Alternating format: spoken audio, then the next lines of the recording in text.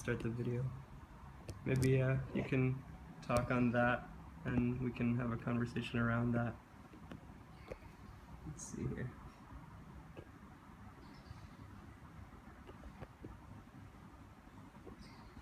There.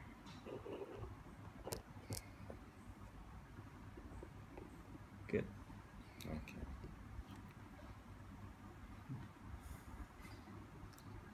So the paths of the mountain all suppose there is a mountain, Hmm. but clearly there is no mountain.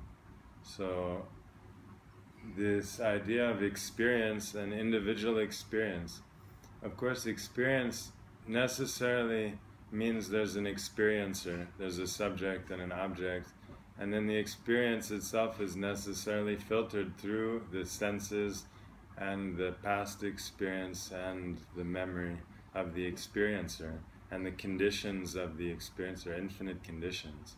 So every experience will always be different. There's no such thing as one, a same experience that can be experienced by some abstraction of a subject or an object or something like this. So even if in this case we're talking that the object of experience is the self or is this beyond, right? So already we're using, we're applying this dualistic experience to that which lies beyond experience.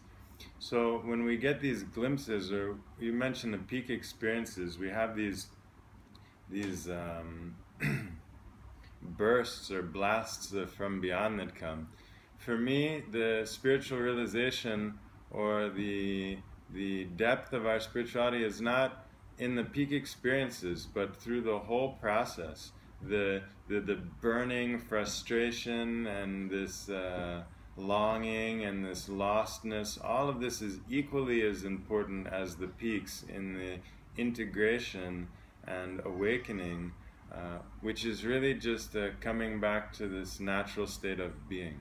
It's not some grandiose, like, um, like uh, putting your flag at the top of the mountain kind of thing, and someone's waiting up there to give you a trophy and sign it and to take a picture and verify and all of this kind of thing this is still immature uh, practice. It's for some goal, some goal somewhere else.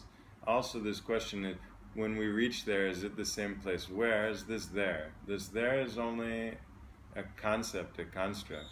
So the realization or this enlightenment or awakening is always here. Every moment, it's a continual blossoming in the here.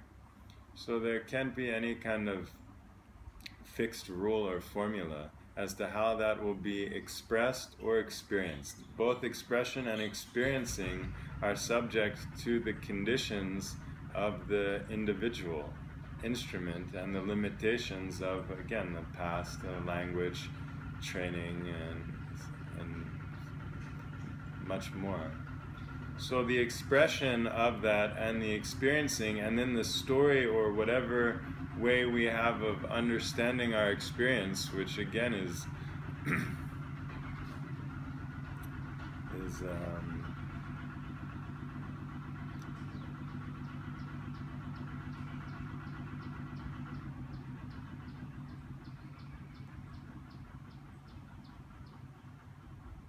yeah unimportant there's too much importance on the individual. The realization is when the individual, when the drop dissolves back into the ocean, or the entire ocean's experienced as the drop.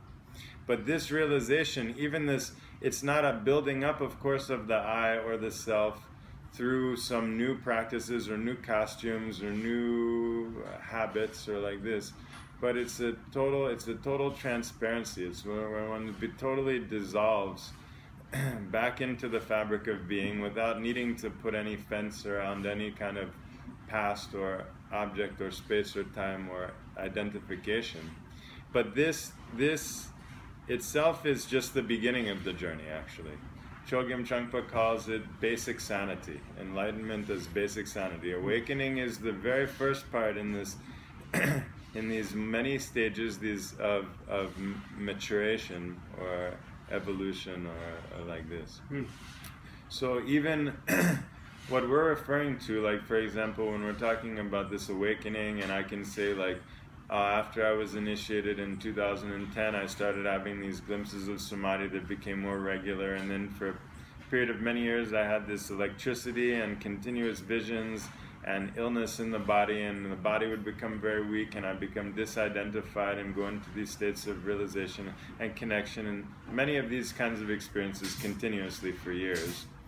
And then later times, even after and when it became more stabilized, I was living in the communities with teachers. You know, one experience where it, it was like the energy goes up the spine little by little, like spiders crawling, and then it, it's like cracking at the top of the skull, and then it it bursts open and the light bursts through and I dissolve in that light for you know some hours and then for days it's not that no one can touch the body or come near the, near the body hmm. and no interest or identification so experiences like this too but these the the the the question is the integration of these into a stable ordinary consciousness it's not the these are just kind of side effects of the process that's undergoing and that stabilizes over time. And it took a good six to ten years even to just to, for that to become no big deal. You know, for for it to be for that which is to be just as it is without getting in the way with any kind of concepts or past or anything like this. Mm. This is uh, something that uh, you're actually getting right to the, the point of it, and, and that's awesome. But um, I think the sounds is going to really interfere. Mm, Do you yes. want to just meditate for a few more minutes? we can wait until they, they finish. Yeah, that's annoying, Yeah, I can just it's, tell them to stop.